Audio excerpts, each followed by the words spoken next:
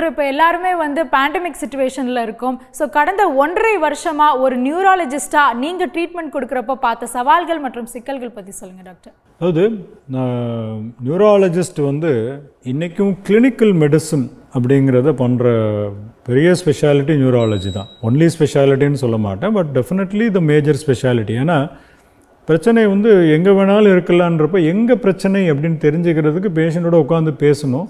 Patient உள்ளே நடந்து வரும்போதே பேஷண்ட்டை பார்க்கணும். அவங்க எப்படி உட்காடுறாங்க எப்படி எந்திரிக்கிறாங்க என்ன பேசுகிறாங்க இது பேசும்போதே நிறைய விஷயங்கள் அப்படி உள்ளே வரும்போதே நிறைய விஷயங்கள் தெரிஞ்சிடும். அதே மாதிரி எக்ஸாமினேஷன்றதும் பேஷண்ட்டை டீட்டெயிலாக எக்ஸாமின் பண்ணுறதுன்றதும் நியூராலஜிஸ்ட்டுக்கு ரொம்ப ரொம்ப அவசியம். இதுதான் ட்ரைனிங்லேருந்து பண்ணுற விஷயம். இதை தான் நிறைய ஸ்டூடெண்ட்ஸுக்கும் சொல்லியிருக்கிறோம். இது ரொம்ப முக்கியம். இது இல்லைன்னா ஒரு நியூராலஜிக்கு கை உடைஞ்ச மாதிரி. இப்போ வந்து என்ன ஒரே ஒரு அட்வான்டேஜ்னால் அந்த ஹிஸ்ட்ரியில் உட்காந்து அவங்கக்கிட்ட இப்போ வீடியோ கன்சல்டேஷன் பண்ணுறோம் வேறு வெளியூர்லேருந்து கூப்பிட்றாங்க. என்னால் வெளியே வீட்டை விட்டு வெளியே வர முடியும் டாக்டர்னு கூப்பிட்ருக்காங்க அப்போ அவங்க கூட உட்காந்து பேசுகிறோம் பேசும்போது என்னென்னா ஃபைனலாக ஒன்று சொல்கிறதுக்கு ஒரு தயக்கம் எப்படினாலும் இருக்கும். அந்த வந்து இத்தனை வருஷத்தில் நான் பார்க்காத விஷயம் அது. எல்லாம் பார்த்த பேஷண்ட் ஃபைல ஃபாலோ அப் ரிவ்யூக்கு வேணால் வீடியோவில் கூப்பிடுவாங்க. புதுசாக ஒருத்தரை பார்க்கும்போது ரொம்ப கஷ்டம். டயக்னோஸ் பண்ண முடியாது. எதுவுமே சும்மா உடனே இன்வெஸ்டிகேஷன் பண்ணுன்னு சும்மா எழுதவும் முடியாது. அதனால் சொல்லுவோம் இது வந்து இப்போதைக்கு டெம்பரரியாக பண்ணலான்னு ஒரு நியூராலஜிஸ்ட்க்கு மேஜர் சேலஞ்ச் இந்த பேண்டமிக்கில் அதுதான் பேஷண்ட்டை எக்ஸாமின் பண்ண முடியாமல் போகிறது உட்காந்து அவங்க பக்கத்தில் உட்காந்து பேச முடியாமல் போகிறது அவங்களோட வாஞ்சையை உட்காந்து பேசி நாலு வாரத்தை பேசும்போதே நிறைய பிரச்சனை சால்வ் ஆகிடும் அது கூட செய்ய முடியாமல் போகிறது இதெல்லாம் தான் பெரிய சேலஞ்சஸுங்க இப்போ ஸ்ட்ரோக்னால பாதிக்கப்பட்ட ஒருத்தர் மீண்டு வர்றதுக்கு எவ்வளோ நாள் ஆகும்? இப்போ எந்த மாதிரியான நவீன சிகிச்சை முறைகள் வர ஆரம்பிச்சிருச்சு? மற்றும் போஸ்ட் சர்ஜரி ரீஹாபிலேஷன் இதை பற்றி எல்லாம் சொல்லுங்கள் டாக்டர் அதாவது ஸ்ட்ரோக் இப்போது ஒருத்தருக்கு ஏற்படுதுன்னா ரொம்ப முக்கியம். அது ரொம்ப முக்கியமான கேள்வி. இப்போ வந்து ஸ்ட்ரோக்கில் வந்து கோல்டன் ஹவர்னு சொல்கிறோம் எல்லாமே எவ்வளவு ஃபாஸ்ட்டாக ட்ரீட் பண்ணுறோமோ அவ்வளவு இம்பார்ட்டண்ட் இதை அடிக்கடி இப்போ நிறைய தடவை அதை பற்றி பேசுகிறோம் ஏன்னா ஒவ்வொரு நிமிஷம் ஒரு ஸ்ட்ரோக் ஏற்படுது ஒருத்தருக்கு மூளையில் ரத்த ஓட்டம் பாதிப்பு ஏற்பட்டால் ஒரு நிமிஷத்துக்கு ஒன் பாயிண்ட் நைன் மில்லியன் அதாவது பத்தொம்போது லட்சம் நியூரான்ஸ் இறந்து போகிறதுன்றது ஒரு கேல்குலேஷன் அப்போ நமக்கு ஒவ்வொரு நிமிஷம் லேட் பண்ணும்போதும் ரெக்கவரிக்கு வர சான்சஸ் குறைஞ்சிக்கிட்டே போகுதுன்னு அர்த்தம்.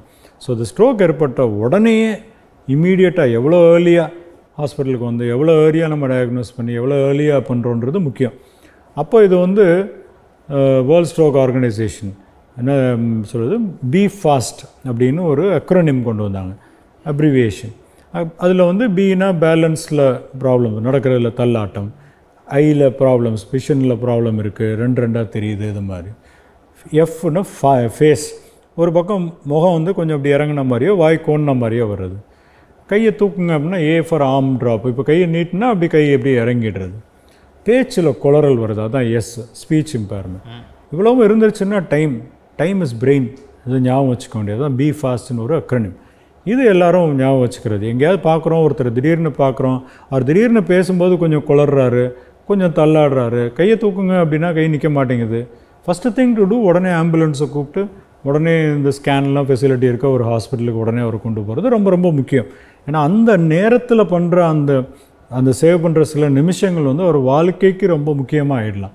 ஏன்னா அவங்க இமீடியட்டாக வந்தால் இப்போ கிளாட் பஸ்டிங்னு ட்ரீட்மெண்ட்லாம் இருக்குது அதை உடனடியாக செஞ்சோன்னா அவங்க ஃபுல்லாக ரெக்கவர் ஆகிறதுக்கே வாய்ப்புகள் நிறைய இருக்குது அதனால இப்போது வந்து நிறைய அட்வான்சஸ் ஆயிடுச்சு. இப்போ கிளாட் ஆயிடுச்சு அப்படின்னா கிளாட் பஸ்டிங் மெடிசன் போடுறோம். அது மாதிரி up to twenty four hours வரைக்கும் கூட சில பேருக்கு வந்து அந்த கிளாட் ஆயிருந்து அந்த கிளாட்டை வெளியே எடுக்கிறோம். த்ரோம்பெக்டமின்னு சொல்கிறோம் இதெல்லாம் நவ் எஸ்டாப்ளிஷ்ட் ப்ரொசீஜர்ஸ் இப்போ last four five years this are going very well இப்போ இதிலெல்லாம் நிறைய இம்ப்ரூவ்மெண்ட் சான்சஸ் இருக்கிறனால டிலே பண்ணோம். நம்ம டுவெண்ட்டி ஃபோர் ஹவர்ஸ்க்கு அப்புறம் ஹாஸ்பிட்டலுக்கு வந்தோன்னா இது எதுக்குமே வாய்ப்பு இல்லாமல் போயிடும். அப்போ நம்ம பண்ணக்கூடிய ஒரே விஷயம் ஃபிசியோதெரப்பி பண்ணுங்கள் மருந்து வாங்க திரும்ப ஸ்ட்ரோக் வராமல் இருக்க என்ன செய்யலாம் அதுதான் நம்ம கான்சன்ட்ரேட் பண்ண முடியும். ஸோ அந்த எம் எமர்ஜென்சி டைம்னு ஸ்ட்ரோக் அதை உடனே ஐடென்டிஃபை பண்ணி உடனடியாக ஹாஸ்பிட்டலுக்கு வர வேண்டியது ரொம்ப ரொம்ப ரொம்ப முக்கியம். கண்டிப்பாக டாக்டர் நீங்கள் பேசிகிட்டு இருக்கும்போது பார்க்கின்சன் நோய் பற்றி நீங்கள் சொல்லியிருந்தீங்க. இது முழுக்க முழுக்க முதுமை சம்பந்தப்பட்ட ஒரு நோயா?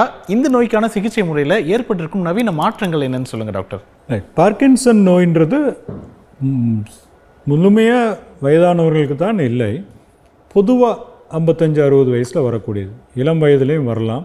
லெஸ் தேன் ஃபார்ட்டி இயர்ஸ் வந்துச்சுன்னா நாற்பது வயசுக்கு முன்னாடி வந்தால் யங் ஆன்செட் பார்க்கின்சன்னு சொல்கிறோம் அதுக்கு பேர் யங் ஆன்செட் பீடினே பேர். பார்க்கின்சன் நோய்க்கு முக்கியமானது என்ன? பார்க்கின்சன் நோய் இப்போ நரம்பும் நரம்பும் பேசிக்கிறது வந்து ரசாயனம் மூலமாக தான் பேசிக்கும். நியூரோ டிரான்ஸ்மிட்டர்னு பேர். இதில் ஒரு முக்கியமான அந்த மாதிரி ஒரு கெமிக்கல் டோப்பமின்னு ஒன்று அது மாத்திரமே இல்லை முக்கியமானது அந்த கெமிக்கலில் ஒரு பாதி குறைவு ஏற்பட்டுருது மூளையில். ஸோ சில ஏரியாஸ் ஆஃப் த பிரெயின் வேறு இந்த டோப்பமின் மூலமாக அது ஒன்று ஒன்று பேசிக்கிற அந்த நியூரான்ஸ் எல்லாம் அஃபெக்ட் இந்த நர்வ் செல்ஸ் அஃபெக்ட் ஆகும்போது இந்த வியாதி ஏற்படுது. ஸோ வைத்தியமில் வந்து முக்கியமாக அந்த டோப்பமினை திரும்ப மாத்திரையை கொடுக்கறது தான் முதல் வைத்தியம்.